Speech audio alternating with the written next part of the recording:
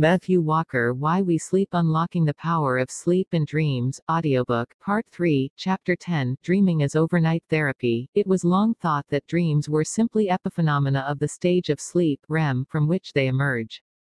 To illustrate the concept of epiphenomena, let's consider the light bulb, the reason we construct the physical elements of a light bulb, the glass sphere, the coiled wire element that sits inside, the screw in electrical contact at the base, is to create light. That is the function of the light bulb, and the reason we designed the apparatus to begin with. However, a light bulb also produces heat. Heat is not the function of the light bulb, nor is it the reason we originally fashioned it. Instead, heat is simply what happens when light is generated in this way. It is an unintended byproduct of the operation, not the true function. Heat is an epiphenomenon in this case. Similarly, evolution may have gone to great lengths to construct the neural circuits in the brain that produce REM sleep and the functions that REM sleep supports. However, when the human brain produces REM sleep in this specific way, it may also produce this thing we call dreaming.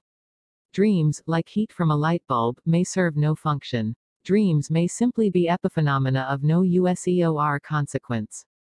They are merely an unintended byproduct of REM sleep. Rather a depressing thought, isn't it? I'm sure many of us feel that our dreams shave meaning and some useful purpose. To address this stalemate, exploring whether dreaming, beyond the stage of sleep it emerges from, has true purpose, scientists began by defining the functions of REM sleep. Once those functions were known, we could then examine whether dreams that accompany REM sleep, and the very specific content of those dreams, were crucial determinants of those adaptive benefits. If what you dream about offers no predictive power in determining the benefits of that REM sleep, it would suggest that dreams are epiphenomenal, and REM sleep alone is sufficient. If, however, you need both REM sleep and to be dreaming about specific things to accomplish such functions, it would suggest that REM sleep alone, although necessary, is not sufficient. Rather, a unique combination of REM sleep plus dreaming, and dreaming of very particular experiences, is needed to transact these nighttime benefits. If this was proven, dreams could not be dismissed as an epiphenomenal byproduct of REM sleep. Rather, science would have to recognize dreaming as an essential part of sleep and the adaptive advantages it supports, above and beyond REM sleep itself. Using this framework, we have found two core benefits of REM sleep. Both functional benefits require not just that you have REM sleep, but that you dream, and dream about specific things. REM sleep is necessary, but REM sleep alone is not sufficient. Dreams are not the heat of the light bulb, they are no byproduct. The first function involves nursing our emotional and mental health, and is the focus of this chapter. The second is problem solving and creativity, the power of which some individuals try to harness more fully by controlling their dreams, which we treat in the next chapter, Dreaming, the Soothing Balm. It is said that time heals all wounds. Several years ago I decided to scientifically test this age-old wisdom, as I wondered whether an amendment was in order, perhaps it was not time that heals all wounds, but rather time spent in dream sleep. I had been developing a theory based on the combined patterns of brain activity and brain neurochemistry of REM sleep, and from this theory came a specific prediction, REM sleep dreaming offers a form of overnight therapy. Status, REM sleep dreaming takes the painful sting out of difficult, even traumatic emotional episodes you have experienced during the day, offering emotional resolution when you awake the next morning. At the heart of the theory was an astonishing change in the chemical cocktail off your brain that takes place during REM sleep. Concentrations of a key stress related chemical, called noradrenaline, are completely shut off within your brain when you enter this dreaming sleep state. In fact, REM sleep is the only time during the 24-hour period when your brain is completely devoid of this anxiety-triggering molecule. Noradrenaline, also known as norepinephrine, is the brain equivalent to a body chemical you already know and have felt the effects of adrenaline epinephrine. Previous MRI studies established that key emotion and memory related structures of the brain are all reactivated during REM sleep. As we dream, the amygdala and emotion-related regions of the cortex, and the key mnemonic center, the hippocampus. Not only did this suggest the possibility that emotion-specific memory processing was possible, if not probable, during the dreaming state, but now we understood that this emotional memory reactivation was occurring in a brain free of a key stress chemical. I therefore wondered whether the brain during REM sleep was reprocessing upsetting memory experiences and themes in this neurochemically calm, low noradrenaline, safe, dreaming brain. Environment. Is the REM sleep dreaming state a perfectly designed nocturnal soothing balm, one that removes the emotional sharp edges of our daily lives? It seemed so from everything neurobiology and neurophysiology was telling us me, if so, we should awake feeling better about distressing events of the days prior, this was the theory of overnight therapy. It postulated that the process of REM sleep dreaming accomplishes two critical goals. One, sleeping to remember the details of those valuable, salient experiences, integrating them with existing knowledge and putting them into autobiographical perspective, yet two, sleeping to forget, or dissolve, the visceral, painful emotional charge that had previously been wrapped around those memories. If true, it would suggest that the dream state supports a form of introspective life review. To therapeutic ends, think back to your childhood and try to recall some of the strongest memories you have.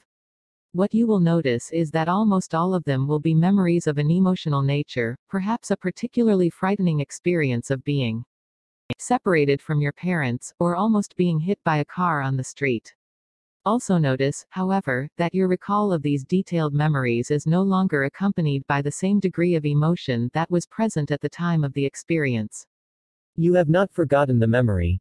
But you have cast off the emotional charge, or at least a significant amount of it. You can accurately relive the memory, but you do not regurgitate the same visceral reaction that was present and imprinted at the time of the episode. I the theory argued that we have REM sleep, dreaming to thank for this palliative dissolving of emotion from experience. Through its therapeutic work at night, REM sleep performed the elegant trick of divorcing the bitter emotional rind from the information rich fruit, we can therefore learn and usefully recall salient life events without being crippled by the emotional baggage that those painful experiences originally carried. Indeed, I argued that if REM sleep did not perform this operation, we'd all be left with a state of chronic anxiety in our autobiographical memory networks. Every time we recalled something salient, not only would we recall the details of the memory, but we would relive the same stressful emotional charge all over again. Based on its unique brain activity and neurochemical composition, the dream stage of REM sleep helps us avoid this circumstance. That was the theory, those were the predictions, next came the experimental test, the results of which would take a first step toward falsifying or supporting both. We recruited a collection of healthy young adults and randomly assigned them to two groups. Each group viewed a set of emotional images while inside an MRI scanner as we measured their emotional brain reactivity. Then, 12 hours later, the participants were placed back inside the MRI scanner and we again presented those same emotional images, cueing their recollection while again measuring emotional brain reactivity. During these two exposure sessions, separated by 12 hours, participants also rated how emotional they felt in response to each image. Importantly, however, half of the participants viewed the images in the morning and again in the evening.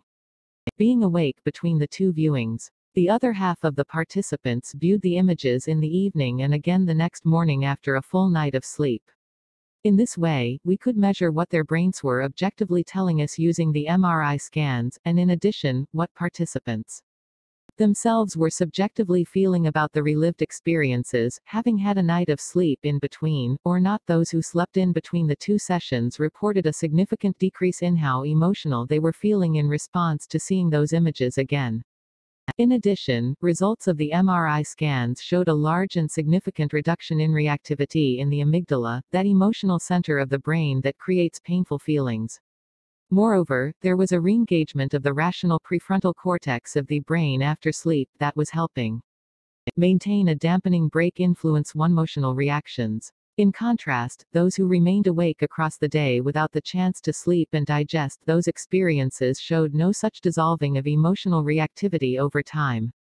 Their deep emotional brain reactions were just as strong and negative, if not more so, at the second viewing compared with the first, and they reported a similarly powerful re-experiencing of painful feelings to boot, since we had recorded the sleep of each participant during the intervening night between the two test sessions, we could answer a follow-up question, is there something about the type or quality of sleep that an individual experiences that predicts how successful sleep is at accomplishing next-day emotional resolution? As the theory predicted, it was the dreaming state of REM sleep, and specific patterns of electrical activity that reflected the drop in stress-related brain chemistry during the dream state, that determined the success of overnight therapy from one individual to the next. It was not therefore time per se that healed all wounds, but instead it was time spent in dream sleep that was providing emotional convalescence. To sleep, perchance to heal, sleep, and specifically REM sleep, was clearly needed in order for us to heal emotional wounds. But was the act of dreaming during REM sleep, and event dreaming of those emotional events themselves, necessary to achieve resolution and keep our minds safe from the clutches of anxiety and reactive depression? This was the question that Dr. Rosalind Cartwright at Rush University in Chicago elegantly dismantled in a collection of work with her clinical patients, Cartwright, who I contend is as much a pioneer in dream research as Sigmund Freud, decided to study the dream content of people who were showing signs of depression as a consequence of incredibly difficult emotional experiences, such as devastating breakups and bitter divorces. Right around the time of the emotional trauma, she started collecting their nightly dream reports and sifted through them, hunting for clear signs of the same emotional themes emerging in their dream lives relative to their waking lives. Cartwright then performed follow-up assessments up to one year later, determining whether the patient's depression and anxiety caused by the emotional trauma were resolved or continued to persist. In a series of publications that I still revisit with admiration to this day, Cartwright demonstrated that it was only those patients who were expressly dreaming about the painful experiences around the time of the events who went in to gain clinical resolution from their despair. Mentally recovering a year later is clinically determined by having no identifiable depression. Those who were dreaming, but not dreaming of the painful experience itself, could not get past the event, still being dragged down by a strong undercurrent of depression that remained.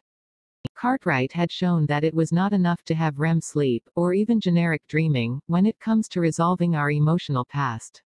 Her patients required REM sleep with dreaming, but dreaming of a very specific kind, that which expressly involved dreaming about the emotional themes and sentiments of the waking trauma. It was only that content-specific form of dreaming that was able to accomplish clinical remission and offer emotional closure in these patients, allowing them to move forward into a new emotional future, and not be enslaved by a traumatic past. Cartwright's data offered further psychological affirmation of our biological overnight therapy theory, but it took a chance meeting at a conference one in Clement Saturday in Seattle before my own basic research and theory would be translated from bench to bedside, helping to resolve the crippling psychiatric condition of post-traumatic stress disorder PTSD. Patients with PTSD, who are so often war veterans, have a difficult time recovering from horrific trauma experiences. They are frequently plagued by daytime flashbacks of these intrusive memories and suffer reoccurring nightmares. I wondered whether the REM sleep overnight therapy mechanism we had discovered in healthy individuals had broken down in people suffering from PTSD, thereby failing to help them deal with their trauma memories effectively. When a veteran soldier suffers a flashback triggered by, say, a car backfiring, they can relive the whole visceral traumatic experience again. It suggested to me that the emotion had not been properly stripped away from the traumatic Memory during sleep. If you interview PTSD patients in the clinic, they will often tell you that they just cannot get over the experience. In part, they are describing a brain that has not detoxed the emotion from the trauma memory, such that every time the memory is relived, the flashback, so. 2. is the emotion, which has not been effectively removed already. We knew that the sleep, especially the REM sleep, of patients suffering from PTSD was disrupted. There was also evidence suggesting that PTSD patients showed higher than normal levels of noradrenaline released by their nervous system, building on our overnight therapy theory of REM sleep dreaming and the emerging data that supported it, I wrote a follow-up theory, applying the model to PTSD. The theory proposed that a contributing mechanism underlying the PTSD is the excessively high levels of noradrenaline within the brain that blocks the ability of these patients from entering and maintaining normal REM sleep dreaming. As a consequence, their brain at night cannot strip away the emotion from the trauma memory, since the stress chemical environment is too high. Most compelling to me, however, were the repetitive nightmares reported in PTSD patients, a symptom so reliable that it forms part of the list of features required for a diagnosis of the condition. If the brain cannot divorce the emotion from memory across the first night following a trauma experience, the theory suggests that a repeat attempt of emotional memory stripping will occur on the second night, as the strength of the emotional tag associated with the memory remains too high. If the process fails a second time, the same attempt will continue to repeat the next night, and the next night, like a broken record. This was precisely what appeared to be happening with the recurring nightmares of the trauma experience in PTSD patients. A testable prediction emerged, if I could lower the levels of noradrenaline in the brains of PTSD patients during sleep, thereby reinstating the right chemical conditions for sleep to do its trauma therapy work, then I should be able to restore healthier quality REM sleep. With that restored REM sleep quality should come an improvement in the clinical symptoms of PTSD, and further, a decrease in the frequency of painful repetitive nightmares. It was a scientific theory in search of clinical evidence. Then came the wonderful stroke of serendipity. Soon after my theoretical paper was published, I met Dr. Murray Raskind, a remarkable physician who worked at a U.S. Department of Veterans Affairs hospital in the Seattle area. We were both presenting our own research findings at a conference in Seattle and, at the time, we were each unaware of the author's emerging new research data. Raskind, a tall man with kindly eyes whose disarmingly relaxed, jocular demeanor belies a clinical acumen that is not to be underestimated, is a prominent research figure in both the PTSD and Alzheimer's disease fields. At the conference, Raskind presented recent findings that were perplexing to him. In his PTSD clinic, Raskind had been treating his war veteran patients with a generic drug called prazosin to manage their high blood pressure.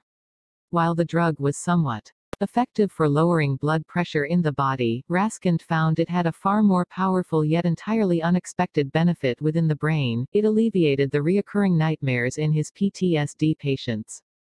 After only a few weeks of treatment, his patients would return to the clinic and, with puzzled amazement, say things like, Doc, it's the strangest thing, my dreams don't have those flashback nightmares anymore. I feel better, less scared to fall asleep at night. It turns out that the drug prazosin, which Raskind was prescribing simply to lower blood pressure, also has the fortuitous side effect of suppressing noradrenaline in the brain. Raskind had delightfully and inadvertently conducted the experiment I was trying to conceive of myself.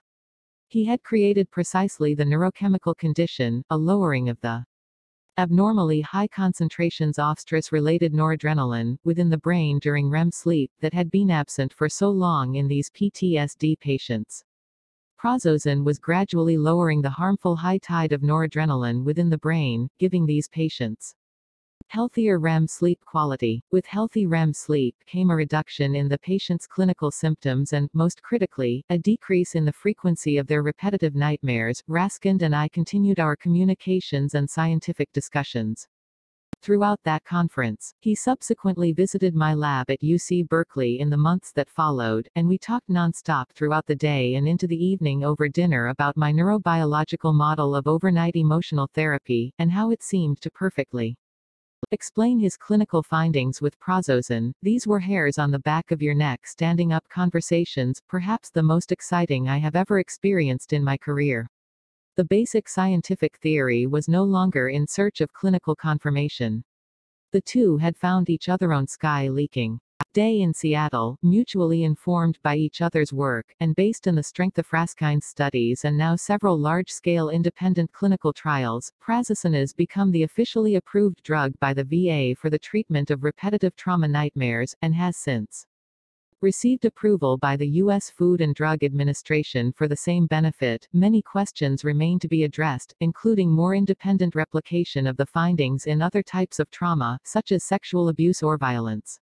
It is also not a perfect medication due to side effects at higher doses, and not every individual responds to the treatment with the same success.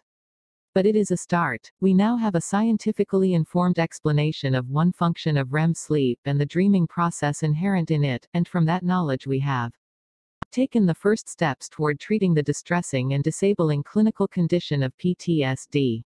It may also unlock new treatment avenues regarding sleep and other mental illness, including depression, dreaming to decode waking experiences. Just when I thought REM sleep had revealed all it could offer to our mental health, a second emotional brain advantage gifted by REM sleep came to light, one that is arguably more survival relevant. Accurately reading expressions and emotions of faces is a prerequisite of being. A functional human being, and indeed, a functional higher primate of most kinds, facial expressions represent one of the most important signals in our environment. They communicate the emotional state and intent of an individual and, if we interpret them correctly, influence our behavior in return. There are regions of your brain whose job it is to read and decode the value and meaning of emotional signals, especially faces.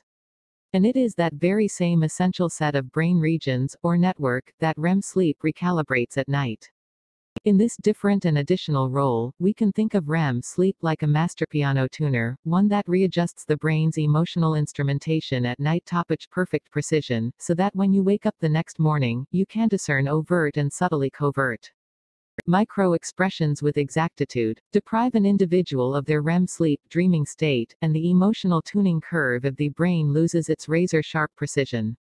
Like viewing an image through frosted glass, or looking at an out-of-focus picture, a dream-starved brain cannot accurately decode facial expressions, which become distorted. You begin to mistake friends for foes. We made this discovery by doing the following. Participants came into my laboratory and had a full night of sleep. The following morning, we showed them many pictures of a specific individual's face. However, no two pictures were the same. Instead, the facial expression of that one individual varied across the images in a gradient, shifting from friendly, with a slight smile, calming eye aperture, and approachable look to increasingly stern and threatening, pursed lips, a furrowed brow, and a menacing look in the eyes. Each image of this individual was subtly different from those on either side of it on the emotional gradient, and across tens of pictures, the full range of intent was expressed from very prosocial, friendly, to strongly antisocial, unfriendly. Participants viewed the faces in a random fashion while we scanned their brains in an MRI machine, and they rated how approachable or threatening the images were. The MRI scans allowed us to measure how their brains were interpreting and accurately parsing the threatening facial expressions from the friendly ones after having had a full night of sleep.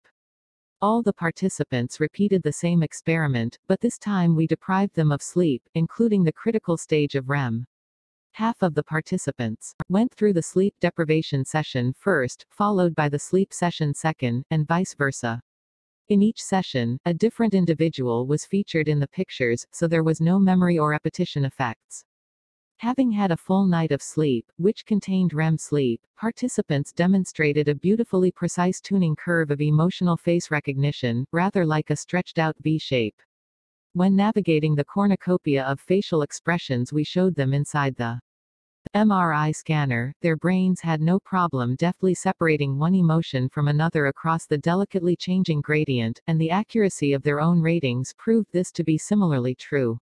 It was effortless to disambiguate friendly and approachable signals from those intimating even minor threat as the emotional tide changed toward the foreboding, confirming the importance of the dream state, the better the quality of REM sleep from one individual to the next across that rested night, the more precise. The tuning within the emotional decoding networks of the brain the next day, through this platinum grade nocturnal service, better REM sleep quality at night provided superior comprehension of the social world the next day, but when those same participants were deprived of sleep including the essential influence of REM sleep, they could no longer distinguish one emotion from another with accuracy.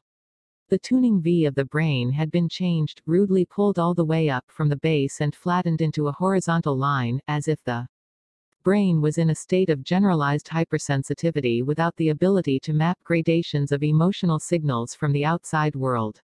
Gone was the precise ability to read giveaway clues in another's face. The brain's emotional navigation system had lost its true magnetic north of directionality and sensitivity, a compass that otherwise guides us toward numerous evolutionary advantages, with the absence of such emotional acuity, normally gifted by the re-tuning skills of REM sleep at night, the sleep-deprived participants slipped into a default of fear bias, believing even gentle or somewhat friendly looking faces were menacing. The outside world had become a more threatening and aversive place when the brain lacked REM sleep, untruthfully so. Reality and perceived reality were no longer the same in the eyes of the sleepless brain. By removing REM sleep, we had, quite literally, removed participants' level headed ability to read the social world around them. Now think of occupations that require individuals to be sleep deprived, such as law enforcement and military personnel, doctors, nurses and those in the emergency services, not to mention the ultimate caretaking job, new parents, every one of these roles demands the accurate ability to read the emotions of fathers in order to make critical, even life-dependent, decisions, such as detecting a true threat that requires the use of weapons, assessing emotional discomfort or anguish that can change a diagnosis, the extent of palliative pain medication prescribed, or deciding when to express compassion or dispense an assertive parenting lesson without REM sleep and its ability to reset the brain's emotional compass, those same individuals will be inaccurate in their social and emotional comprehension of the world around them, leading to inappropriate decisions and actions that may have grave consequences. Looking across the lifespan, we have discovered that this REM sleep recalibration service comes into its own just prior to the transition into adolescence. Before that, when children are still under close watch from their parents, and many salient assessments and decisions are made by mom and or dad. REM sleep provides less of a re-tuning benefit to a child's brain. But come the early teenage years and the inflection point of parental independence wherein an adolescent must navigate the socio-emotional world for himself, now we see the young brain feasting on this emotional recalibration benefit of REM sleep. That is not to suggest that REM sleep is unnecessary. For children or infants, it very muchis, as it supports other functions we have discussed brain development and will next discuss creativity. Rather, it is that this particular function of REM sleep, which takes hold at a particular developmental milestone, allows the burgeoning pre-adult brain to steer itself through the turbulent waters of a complex emotional world with autonomy. We shall return to this topic in the penultimate chapter when we discuss the damage that early school start times are having on our teenagers. Most significant is the issue of sunrise school bus schedules that selectively deprive our teenagers of that early morning slumber, just at the moment in their sleep cycle when their developing brains are about to drink in most of their much needed REM sleep. Where bankrupting their dreams, in so many different ways.